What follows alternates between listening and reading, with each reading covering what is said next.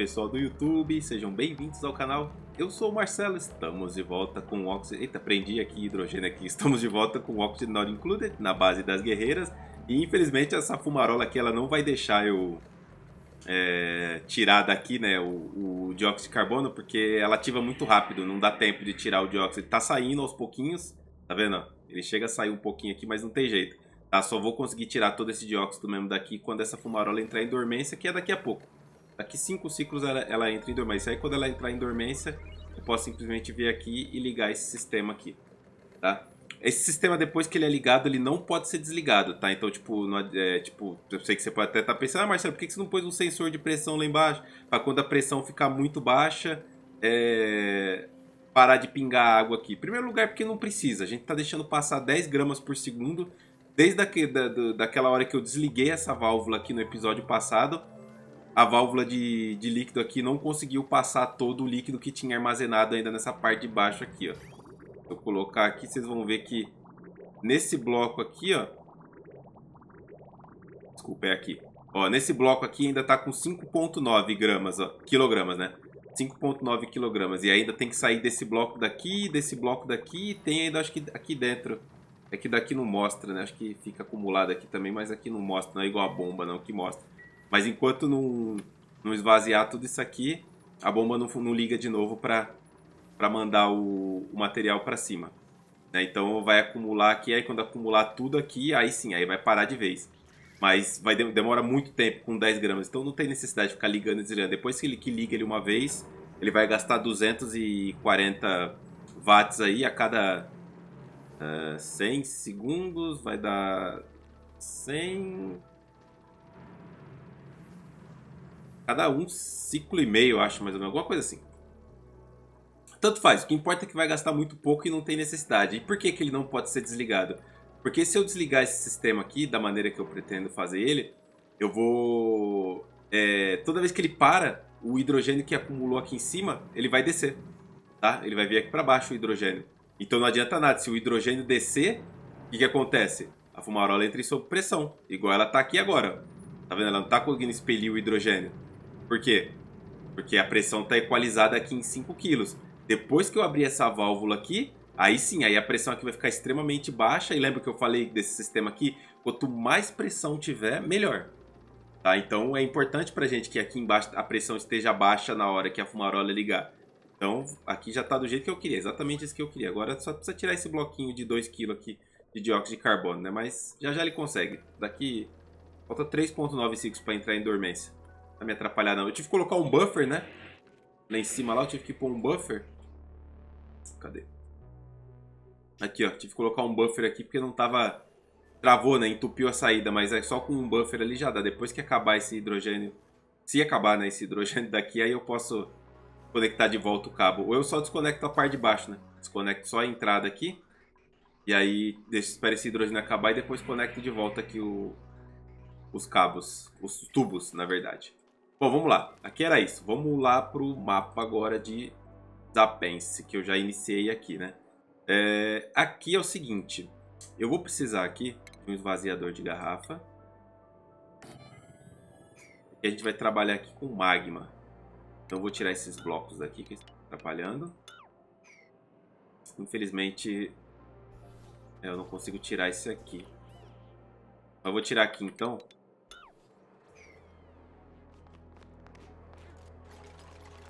Será que vão deixar você presa aí, Bruna? Deixaram. Você mesma se prendeu. Olha! Aí, aí agora eu vi vantagem, hein? Nossa! Ok. É, eu posso construir aqui só eu observar no painel de líquidos. Tá? Vou dar uma olhada no painel de líquido. Olha lá, ele está mostrando que eu posso construir aqui, ó. Aqui está no vácuo. Então não vai ter problema. Essa parte aqui tem que estar tá no vácuo. Essa parte aqui de baixo pode entrar no líquido. Ela não transfere temperatura.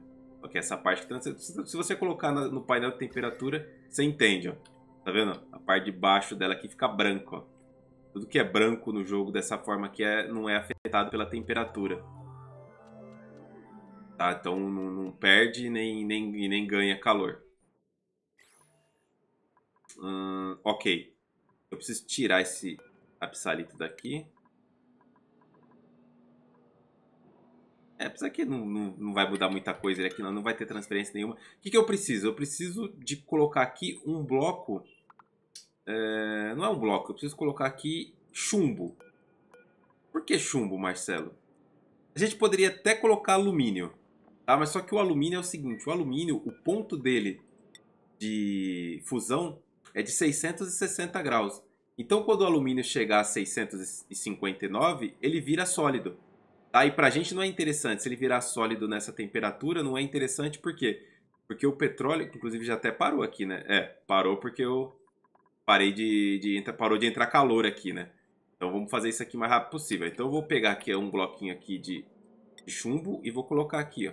Se eu construir ele aqui, automaticamente ele já vai virar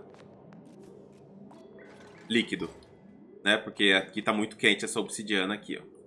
Vamos esperar construir um bloquinho de chumbo aqui. Se precisar, talvez eu, eu faça dois, né? Para ficar 200 kg de chumbo aqui. Então por que, que eu vou usar o chumbo? Primeiro porque ele tem uma ótima condutividade, né? A condutividade do chumbo é 11, o da alumínio é 20. Agora eu venho aqui, com esse cara e mando jogar ele aqui, ó. Hum, chumbo, chumbo, chumbo. Chumbo. Sub 10.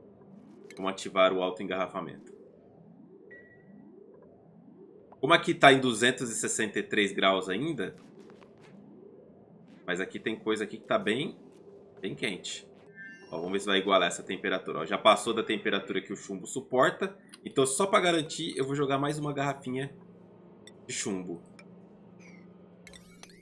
100 quilos, só para ficar 200 quilos aqui, ó. Tá vendo? O chumbo, ele consegue ficar na temperatura líquida um bom tempo. Então ele vai até 1700 e... Ali, obsidiana, rocha ígnea... 1749, o chumbo, ele vira gás. Tá? Então esse magma não consegue transformar esse chumbo em gás. Tá? Pode ficar tranquilo. E o ponto de fusão dele é 327, que é, o, é mais que o necessário para a gente poder trabalhar toda essa temperatura do, toda essa temperatura do, do petróleo, né? Pra gente não perder o petróleo. Aí você me pergunta, Marcelo, por que, que você tá fazendo isso se de qualquer maneira esse magma ia solidificar e ia passar essa temperatura?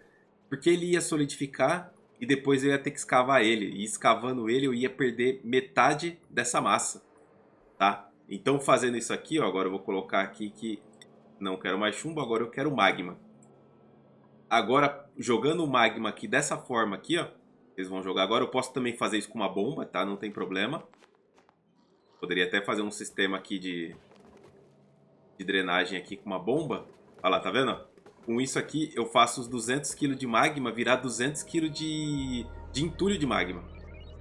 Aí, que beleza. Tá? Só que fora isso, eu quero mais uma coisa aqui. Vamos colocar sub 9 aqui, não precisa ser 10 não. Tá? Fora isso, eu preciso fazer mais uma coisa aqui. Eu preciso identificar quando essa temperatura aqui passar, por exemplo, de 1400 graus. Tá? Que eu não posso arriscar que eles joguem é, garrafas demais aqui. Tem que fazer de, de aço, né?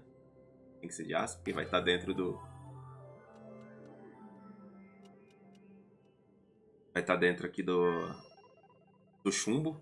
Esse chumbo vai estar tá a maior parte do tempo aí acima de uma temperatura perigosa, né? Então e ele pode chegar até 1400, então é bom não arriscar lá. Já voltou já a cozinhar petróleo, ó. Tá dando uma flicada aqui, mas é normal, tá? É só porque tem muito petróleo já aqui embaixo, ó. Ele tá convertendo, ó. 869. Vai virar tudo de uma vez agora. Pronto, aí foi. Tá, tá resolvido. Tá? A saída na parte de baixo aqui, vocês viram que ela estava aberta e mesmo assim ela bloqueava, né?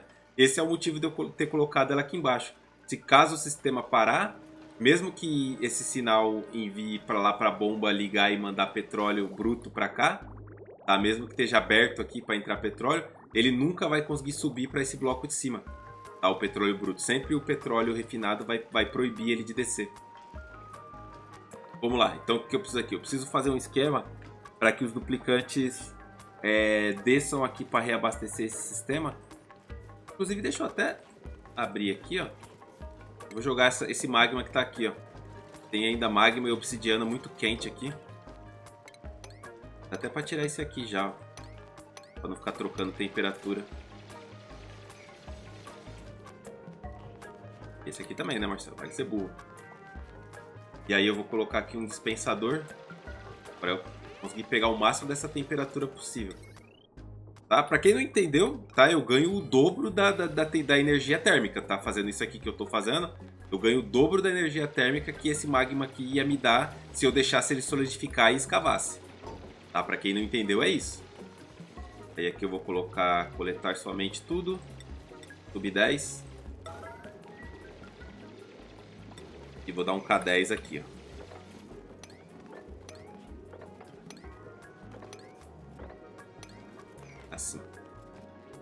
Com isso eu vou jogar esse material extremamente quente aqui dentro aqui, ó, e ele vai essa massa dele vai ajudar. Isso aqui, eu espero só que eles tenham corrigido aquele bug de quando dá reload no jogo, né, se tiver muito material, ele começa a subir o material para cá solidificando, mas eu acho que eles corrigiram sim, tá? Então eu tô tranquilo nessa parte aí. Essa rocha ígnea aqui, ela tá a quanto? Tá a 1100 graus, beleza, pode coletar, sub 10. Essa daqui tá quanto? 1200, pode coletar, sub 10. Essa de trás tá quanto? 1200, pode coletar, sub 10. Essa aqui tá 1200. Essa aqui tá 55 não. E essa também não, tá 45 graus. Tá vendo? E aí eu vou jogando o magma direto aqui, ó. A temperatura daqui desse, desse chumbo aqui já tá em 1100 graus. Já tá começando a ficar perigoso. Então o que eu vou fazer agora? Eu vou remover esse cara daqui, não preciso mais dele. Eu vou subir... Subir não. Eu vou fazer uma porta...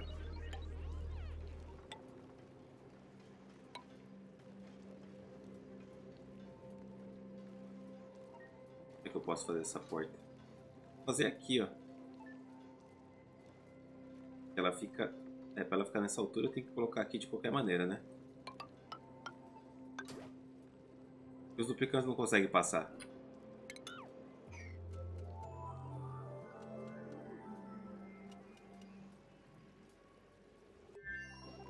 essas escadas daqui.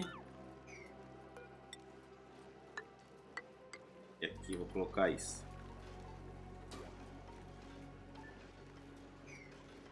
Podia ser um bloco para cima, mas eu vou fazer aqui embaixo mesmo. E aqui eu vou colocar uma escotilha mecanizada, pode ser de qualquer coisa. Não nem de... energia. Vamos conectar isso aqui com cabo de aço. Assim.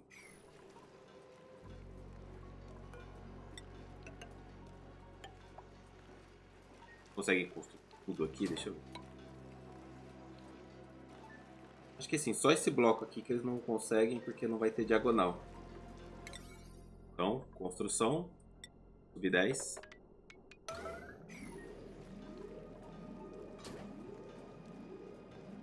Só construir, meus filhos. Não precisa ter medo, não. Vai dar tudo certo.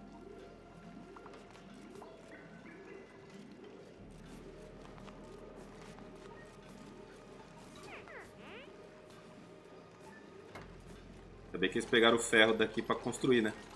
Tiraram o ferro daqui pra construir.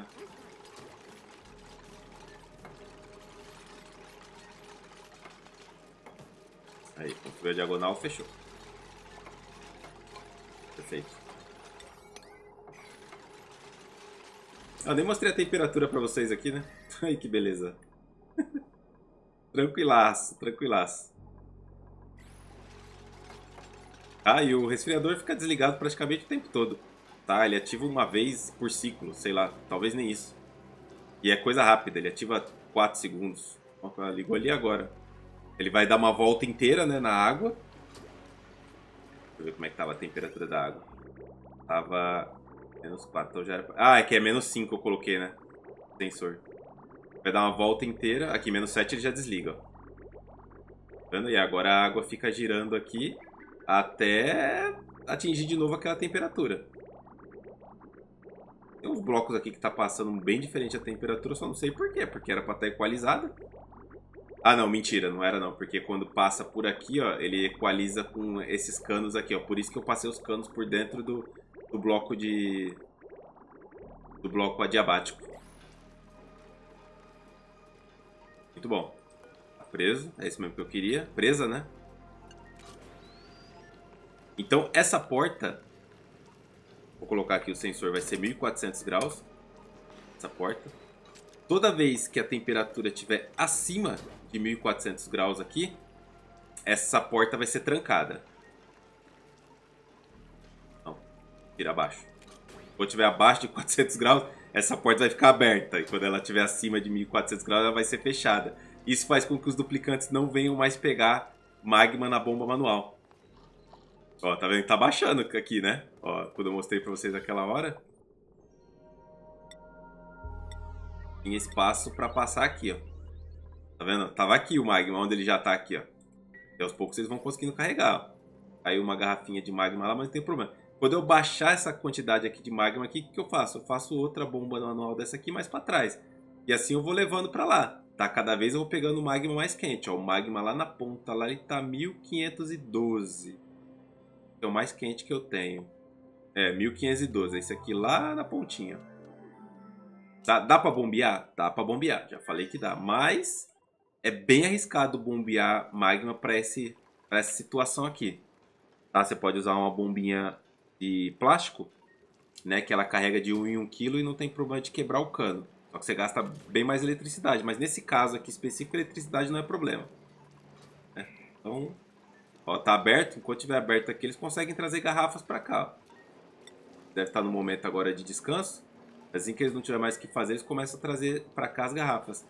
E aqui está resolvido, né? Então agora eu vou transformar esse magma aqui totalmente agora em temperatura. Essas coisas que estão aqui no chão também, essas rochas aí né, que estão caídas aqui que eu, eu escavei, eu posso jogar tudo aqui também, tá? Posso jogar tudo para cá. Eu abro essa parte superior aqui, ó. E descarrego lá embaixo direto as coisas. Não tem problema nenhum, dá para fazer tranquilo. Eu posso deixar até aberto aqui e já colocar para trazer para cá a rocha ígnea. O problema de eu fazer isso é que não tá no coletar somente, né? Então eles vão trazer toda a rocha ígnea do, do mapa de fato. Olha lá. Jogou, já cai transformado em em, entulho, né? E, não, e eu não perco nada de temperatura nessa brincadeira aí. O magma é, tanto o magma líquido quanto o magma quanto a rocha ígnea elas têm um de, de calor específico, tá? Só muda é a condutividade térmica mesmo. O bloco da, da rocha ígnea ele conduz dois, que é esse aqui, ó. Tá vendo? Ele conduz dois. Mas o calor específico é o mesmo. Então não muda nada. Tá? Em termos de ganho de temperatura não muda nada. Pode ficar tranquilo, pode fazer isso daí tranquilo que é bem de boa. Ok, beleza, aqui tá pronto. Vamos voltar lá no nosso asteroide principal, vamos ver aqui o que aconteceu. Uh, gás. Hum, ainda tá lá a bolinha lá. Por quê? Porque eu não tô conseguindo tirar o hidrogênio daqui. Talvez eu precise de mais um buffer lá. Provavelmente. Eu preciso ligar aquilo ali logo de uma vez.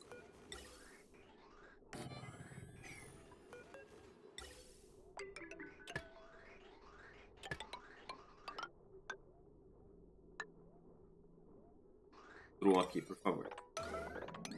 Enquanto eles vão construindo aqui, vai demorar ainda para puxar aquilo lá. Agora, melhor começar a pensar já trocar esse foguete, né? Então vamos desconstruir é, o tanque de oxidante. Não sei se eu deixo. Não sei se eu não deixo. Esse aqui, vou tirar, vou trocar o motor. É o motor agora, o motor de petróleo. Ops, faltou uma pesquisa?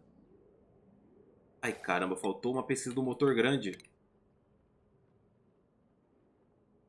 Nossa, eu jurava que eu já tinha um motor grande. Ah, tá. Só falta os radio-raio. Tá bom. Vou botar pra fazer aqui a pesquisa. Ah, que estranho. Eu pensei que tava ligado aqui. Minha estação de pesquisa. Nem lembro mais onde que é. Aqui, ó.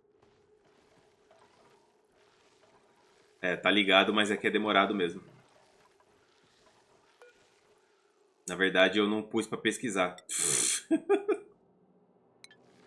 tá explicado, né? Por que, que tá tão demorado assim. Porra, mano. Nossa, e são... Nossa senhora, é muita coisa. São 10 pesquisas. 10 pesquisas por acúmulo. Nossa, já era pra Jana ter feito isso faz tempo. Tá, enquanto ela vai fazendo isso daí... Vamos lá, vamos... Fazer o negócio funcionar aqui. É, eu vou tirar esses painéis. Voltar. Voltar. Eu pus para desmontar o painel solar, beleza. Aqui. Monta esse aqui. Tem que desmontar de cima para baixo, né? Que senão ele cancela a desmontagem dos outros. Oh, meu Deus do céu. Tá. Lá dentro, hum, a gente vai... Putz, esse, esse foguete aqui, ele não vai ser... Ele vai ser um foguete de exploração, esse aqui. Esse aqui é um foguete de exploração. Que vai sair explorando o mapa. Por falar em exploração, eu já devia estar tá com a cadeirinha aqui, né? Faz tempo já era para ter explorado aqui em volta para achar o asteroide radioativo. Ele sempre é encontrado... Bom, o objetivo da série não era esse, né? Por isso que não, tá eu não estava explorando o espaço, né? Acabei indo para isso porque a atualização que veio ainda deu para manter a base. Vou construir aqui então. Oh, droga, de novo, ó. Tá acontecendo isso aqui direto.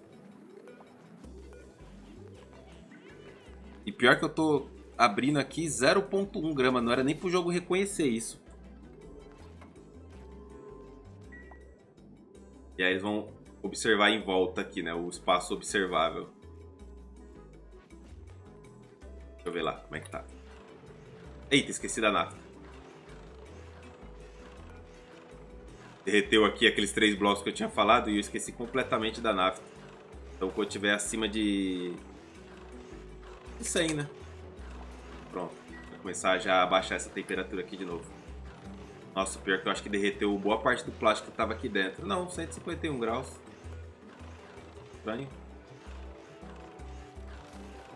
Eu não lembro se eu comentei com vocês, mas eu descobri qual foi o, o erro aqui que estava causando aqui a bolha para ser empurrada para o lado. Tinha um um entulhozinho aqui de eu acho que era de terra poluída. Eu nem sei como veio parar aqui, para falar a verdade, terra poluída. Então o que estava acontecendo? Toda vez que a terra poluída tentava sublimar, né, tentava soltar é, o gás, ela não conseguia soltar para nenhum desses blocos aqui, ó, porque aqui a pressão é muito alta tá? Não conseguia soltar para nenhum desses blocos. E como ela não vai para o vácuo, né? O gás não vai para o vácuo. O que ele estava fazendo? Ele estava deslocando a bolha de água que ele estava em cima. Tá? Então ele, ele, ele, ele deslocava o próprio entulho que estava aqui, ele deslocava a bolha da onde ele estava para poder soltar o gás poluído aqui. Malandro, malandrão. Né? Então o que, que eu tenho que fazer aqui agora? Eu vou mudar. Tá funcionando já esse esquema aqui do jeito que eu deixei, tá? Então como é que ele funciona? Tá, nem precisou da, do, do... Como é que é o nome? Nem precisou do, da memória alternada. Por quê? Tem uma, um sensor de ar aqui em cima. Tá? Se esse sensor de ar ficar acima de 0 gramas, o que, que acontece? Essa bomba liga e essas portas fecham. Tá? Automaticamente, aqui do lado aqui, tem um sensor aqui de, de pressão. Tá? Que se caso a pressão ficar abaixo de 0 kg, né, a, ele, ele já liga, ele já aciona automaticamente. Então não dá tempo nem do, do de identificar que o vapor veio para cá. Tá? Ele já liga e ele já pinga aqui de novo já. Tá? Então tá funcionando assim. É, até agora não deu problema ainda, mas eu acho que nem vai dar, tá? Mas é uma maneira aí de eu ficar safe, né? Então o que eu tenho que fazer? Eu tenho que mudar esse cara aqui pra cá. Eu acho que ele não cabe em nenhum desses lugares aqui. Porque essa tranqueira aqui tem 5 de tamanho. Tem que trocar essas saídas de água de lugar. Tem que passar essa aqui para cá e essa aqui para cá. Para poder colocar os dois aqui em cima. Eita, as turbinas estão funcionando a todo vapor agora. Literalmente.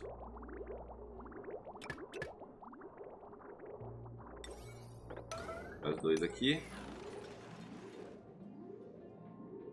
Aí sim, hein, Josi? Josi é brava, também é boa na pesquisa, Josi. E aí essa saída de líquido aqui sai. Essa saída de líquido aqui sai também, para poder ter espaço para construir esses caras aqui em cima.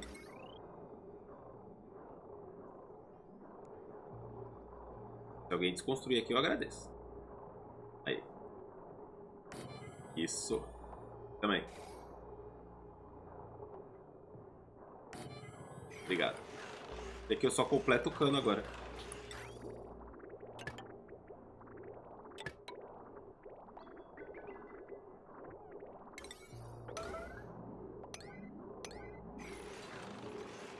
Agora eu tiro esses dois daqui, porque aqui não, não consigo descer, né? Preciso refazer essa parte aqui. E se eu deixar dessa maneira aqui, eu não consigo descer. É para eu descer aqui, agora eu vou fazer... É, vou colocar escada aqui e poste de bombeiro do lado de cá, porque se eles descerem pelo lado de cá, eles sobem por aqui e pegam o transporte aqui da estação de lançamento. Vou colocar aqui. posso pôr escada de plástico aqui. Né? Temperatura aqui não vai passar de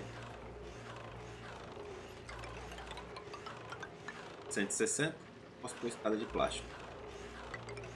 É, só passou porque eu quis que passasse para eu pegar a nafta. Agora eu tenho nafta demais.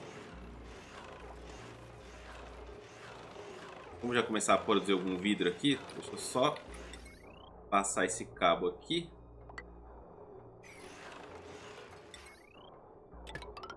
Assim.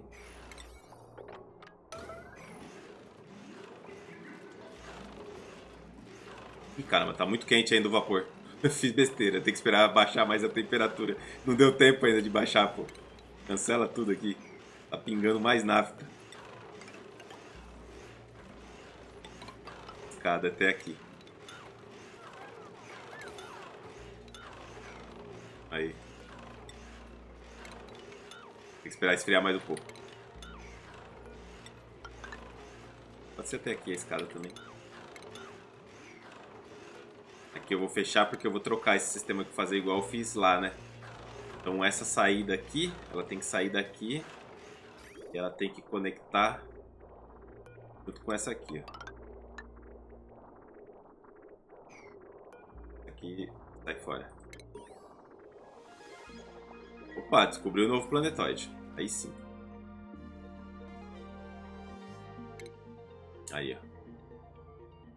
No jalhão, que é onde está o material radioativo, né? Então esse aqui é a primeira pesquisa. O restante agora é tudo no foguete. Apesar que aqui eu posso construir também, né? O... É verdade, eu posso construir aqui e pesquisar tudo em volta. Lá em Zapense, eles já terminaram tudo lá que tinha para fazer. Eles só estão carregando magma quando dá. Eu cheguei a fazer uma abertura aqui em cima já.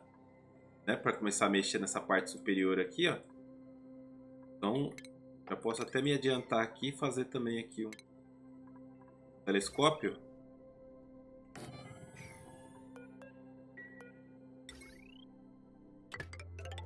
Conecta aqui. Priorizar essa construção.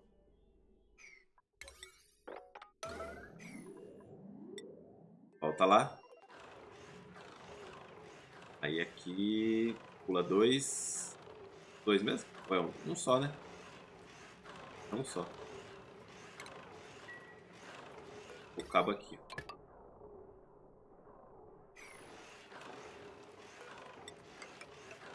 Ia pôr poste de bombeiro aqui, mas vou pôr a escada dos dois lados. Né? É porque essa bomba aqui, ela vem pra cá essa porta não existe mais. Essa porta aqui também não existe mais.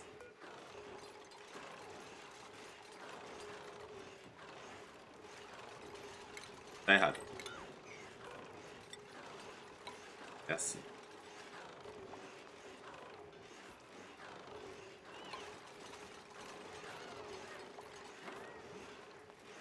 Certo? Porque aqui vai fechar.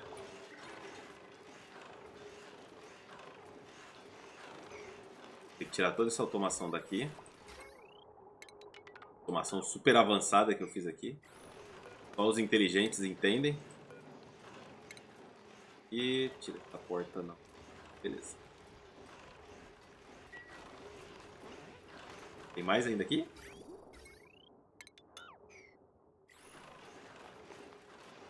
Tá a bomba sai daqui.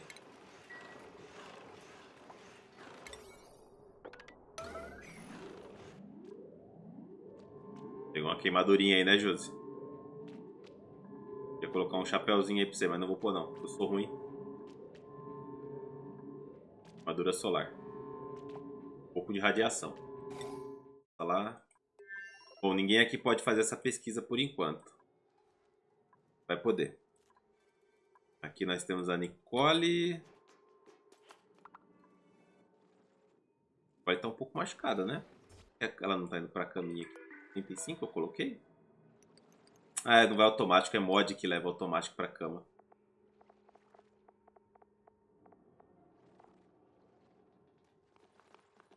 Ela não está elegível. Aí. Então vamos lá. Temos aqui nesse mapa a Nicole, a Bruna. Quem mais está aqui? Mais alguém. Tá aqui. Passou, passou correndo. E a Julia. Polly, Bruno e Julia. Vamos lá. Ah, estou separado aqui, pô. Cilano. Hum. Hum. É, pra fazer essa observação aí, seria interessante alguém que já tivesse alguma coisa de pesquisa, né? No caso, é a Bruna, mas aí ela vai ficar com a moral baixa. A gente resolve isso aí. Pronto, assim ela já consegue usar o telescópio. Vamos ver se ela está liberada para fazer pesquisa.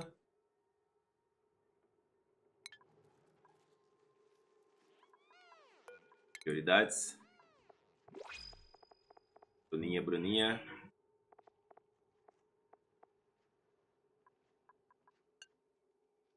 Pesquisa. Muito alto. Beleza, ela vai vestir o traje ali vai começar a pesquisar aqui em volta. Ó, já descobriu aqui um campo de asteroide arenoso. O que, que tem aqui? Ué? Eu achei que não ia ter os, os pós aqui no... Olha aí, tem os pós sim, pô. Ah, filha da mãe. A Clay enganou a gente mesmo de novo, né? Ela colocou no post, falou assim, vai ser necessário reiniciar um novo mapa. Mas tá aí, ó. Que filha da mãe. Eu tenho as brocas, as brocas estão liberadas, só pesquisar. Arenito, areia, alga, cobre e artefato. Massa total 71 toneladas. E aí, beleza. Melhor ainda pra gente. Fomos tapeados de novo, mas tudo bem. Volta aqui. Foi feitas as pesquisas. Tem que esperar terminar a pesquisa do foguete agora, não tem jeito, né? Não tem jeito. A pesquisa aí vai demorar um pouquinho ainda. Depois eu ainda tenho que fazer a da ponta da broca, né? Mas a Jana vai sair primeiro para explorar. A Jana vai sair maquinada ali para explorar. Sair na maldade. Aqui deu aqui. Tá quase. Toda vez que o, o, hidrogênio, o, oxi, o hidrogênio fica mais baixo do que o, o dióxido de carbono fica mais baixo do que o hidrogênio, a quantidade para ver que é, é, estão quase igual ali ó, de quantidade. Ó. Um está com 38.5 e o outro está com 38.3. Tá? Como eles, se eu não me engano, eles têm acho que a mesma massa molar no jogo, né? No jogo, é, isso faz com que, ó, tá vendo? Agora vai diminuir a quantidade de hidrogênio, de dióxido de carbono, aí o hidrogênio consegue sair. E aí ele iguala de novo a quantidade. Tá vendo? Toda vez que ele iguala a quantidade, ele consegue descer e passar para cá. E é isso que atrasa a retirada aqui para deixar isso aqui no vácuo. Tá? Porque ele tem que esperar equalizar para descer e vir para cá. Então, uma maneira simples de resolver isso seria o quê? Tirar esse bloco aqui. Mas eu não quero entrar lá de novo, né, mano? Vocês viram a zica que é entrar nesse bagulho, né? Então deixa rolando aí, tem tempo, essa fumarola só volta daqui 42 ciclos, é mais que o suficiente. Né? A temperatura aqui dentro de uma fumarola que é de 500 graus, vocês estão acostumados a ver sempre quente, olha aí. Quem diria, né? Explorando aí a, o, o bom e velho meio de fortuna. Né? O meio de fortuna meio que artificial, né? Que esse aqui eu criei, mas foi para todos os fins, né? Esse aqui, esse resfriamento aqui é para todos os fins da base. Por isso que ele passa pelo mapa inteiro, eu posso usar ele em qualquer lugar. Beleza? Finalizar esse episódio por aqui. Vou deixar terminar de pesquisar o foguete. a petróleo, porque a gente vai usar ele para viajar pelo espaço com a Jana. Acabou os rádio raio, tem que esperar. A gente se vê no próximo episódio. Valeu. Falou.